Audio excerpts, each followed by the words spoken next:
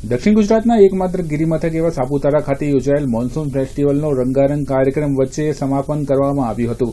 રાજ્ય સરકારના પ્રવાસન વિભાગ દ્વારા ટુરિઝમને પ્રોત્સાહિત કરવા માટે દરેક ઋતુમાં ફેસ્ટિવલનું આયોજન કરવામાં આવે છે. જે અંતર્ગત સાપુતારા ખાતે દસમી ઓગસ્ટથી નવમી સપ્ટેમ્બર સુધી મોન્સૂન ફેસ્ટિવલનું આયોજન કરવામાં આવ્યું હતું.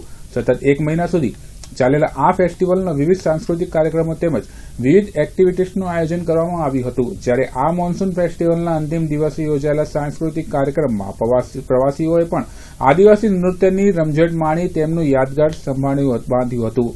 જ્યારે આ સમાપન સમારોહમાં સાપુતારા હોટલ એસોસિએશનના સેક્રેટરી તુકારામભાઈએ આકાશમાં રંગબેરંગી ફુગ્ગા ઉડાવી ફેસ્ટિવલનું સમાપન કરાવ્યું હતું.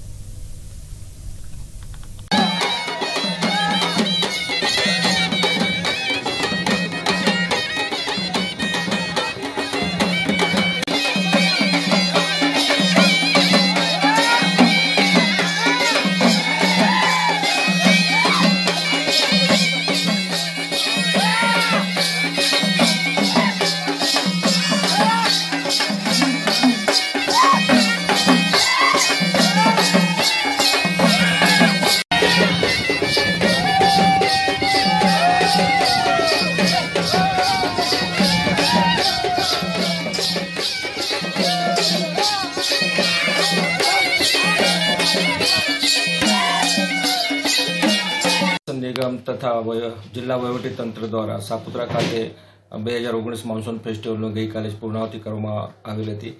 અને સદર કા મોન્સૂન ફેસ્ટિવલ દરમિયાન ઘણો જ પ્રવાસીઓનો ઘસારો રહ્યો હતો અને આ વખતે ગયા વર્ષ કરતાં પણ પ્રવાસીઓ ઘણો બધો લાભ એનો લઈ રહ્યો છે.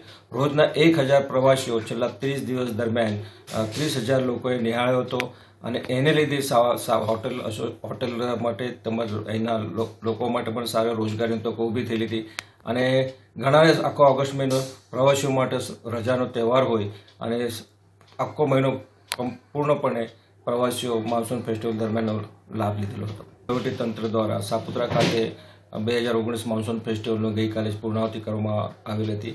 અને સદર કા માનસૂન ફેસ્ટિવલ દરમિયાન ઘણો જ પ્રવાસીઓનો ઘસારો રહ્યો હતો અને આ વખતે ગયા વર્ષ કરતાં પણ પ્રવાસીઓ ઘણો બધો લાભ એનો લઈ રહ્યો છે. રોજના એક હજાર પ્રવાસીઓ છેલ્લા ત્રીસ દિવસ દરમિયાન ત્રીસ હજાર લોકોએ નિહાળ્યો હતો. અને એને લીધે હોટેલ હોટેલ માટે તેમજ અહીંના લોકો માટે પણ સારા રોજગારીની તકો ઊભી થયેલી હતી. અને ઘણા આખો ઓગસ્ટ મહિનો પ્રવાસીઓ માટે રજાનો તહેવાર હોય અને આખો મહિનો સંપૂર્ણપણે પ્રવાસીઓ માનસૂન ફેસ્ટિવલ દરમિયાન લાભ લીધેલો હતો.